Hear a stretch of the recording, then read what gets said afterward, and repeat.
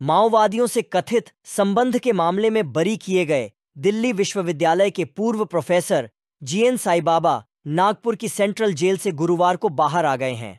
पाँच मार्च को Bombay high court की नागपुर बेंच ने जीएन साई बाबा, हेम मिश्रा, महेश तिर्की, विजय तिर्की, नारायण सांगलीकर, प्रशांत राही और पांडु नरोट अब इस दुनिया में नहीं, को बरी किया था।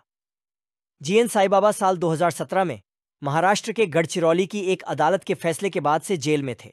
इससे पहले वह साल 2014 से 2016 के बीच भी जेल में रहे, लेकिन उस समय बेल पर बाहर आ गए थे। समाचार एजेंसी पीटीआई के अनुसार, जेल से बाहर आने पर जीएन साई बाबा ने मीडिया कर्मियों से कहा, मेरा स्वास्थ्य बेहद खराब है, मैं बात नहीं कर सकता। पहले मुझे इलाज करवाना होगा, तभी मैं बोलने के लायक हो पाऊँगा। नागपुर बेंच ने बीते मंगलवार ही साई बाबा की उम्र कैद की सजा को ये कहते हुए पलट दिया था कि अभियोजन पक्ष उन पर लगे आरोपों को साबित नहीं कर सका।